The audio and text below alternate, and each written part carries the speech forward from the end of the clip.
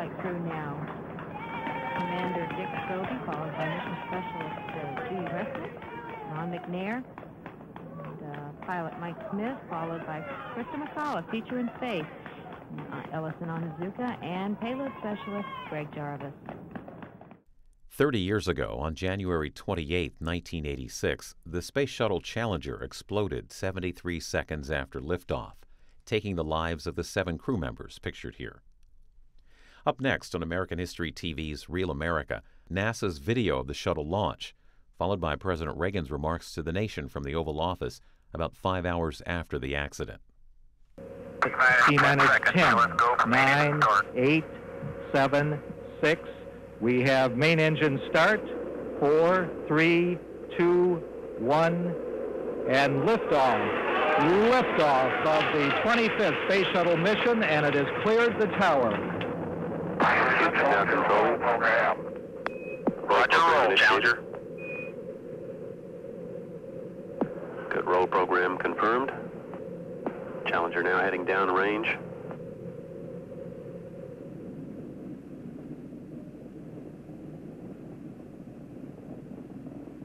Engines beginning throttling down now at 94%. Normal throttles uh, for most of the flight, 104%. We'll throttle down to uh, 65% shortly. Engines at 65%, three engines uh, running normally, three good fuel cells, three good APUs. Velocity 2,257 feet per second. Altitude 4.3 nautical miles, downrange distance 3 nautical miles.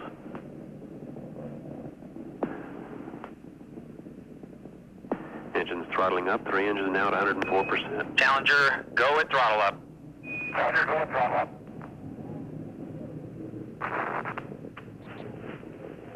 One minute, 15 seconds. Velocity 2,900 feet per second. Altitude 9 nautical miles. Downrange distance 7 nautical miles.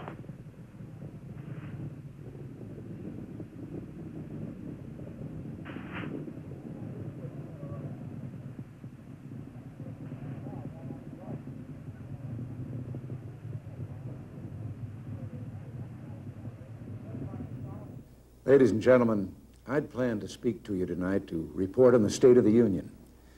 But the events of earlier today have led me to change those plans. Today is a day for mourning and remembering. Nancy and I are pained to the core by the tragedy of the Shuttle Challenger. We know we share this pain with all of the people of our country.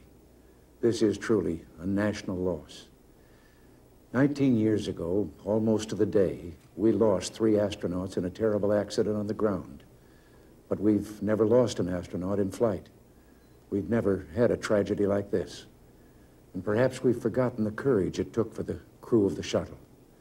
But they, the Challenger 7, were aware of the dangers, but overcame them and did their jobs brilliantly. We mourn seven heroes Michael Smith, Dick Scobie, Judith Resnik, Ronald McNair, Ellison Onizuka, Gregory Jarvis, and Christa McAuliffe. We mourn their loss as a nation together. To the families of the seven, we cannot bear, as you do, the full impact of this tragedy. But we feel the loss, and we're thinking about you so very much. Your loved ones were daring and brave, and they had that special grace, that special spirit that says, give me a challenge, and I'll meet it with joy. They had a hunger to explore the universe and discover its truths. They wished to serve, and they did. They served all of us. We've grown used to wonders in this century. It's hard to dazzle us. But for 25 years, the United States space program has been doing just that. We've grown used to the idea of space, and perhaps we forget that we've only just begun. We're still pioneers. They, the members of the Challenger crew, were pioneers. And I want to say something to the school children of America who were watching the live coverage of the shuttle's takeoff. I know it's hard to understand, but painful things like this happen. It's all part of the process of exploration and discovery. It's all part of taking a chance and expanding man's horizons. The future doesn't belong to the faint-hearted. It belongs to the brave. The Challenger crew was pulling us into the future, and we'll continue to follow them. I've always had great faith in and respect for our space program, and what happened today does nothing to diminish it. We don't hide our space program. We don't keep secrets and cover things up. We do it all up front and in public. That's the way freedom is, and we wouldn't change it for a minute. We'll continue our quest in space. There will be more shuttle flights and more shuttle crews, and yes, more volunteers, more civilians, more teachers in space. Nothing ends here. Our hopes and our journeys continue. I want to add that I wish I could talk to every man and woman who works for NASA or who worked on this mission and tell them your dedication and professionalism have moved and impressed us for decades, and we know of your anguish. We share it. There's a coincidence today. On this day, 390 years ago, the great explorer Sir Francis Drake died aboard ship off the coast of Panama.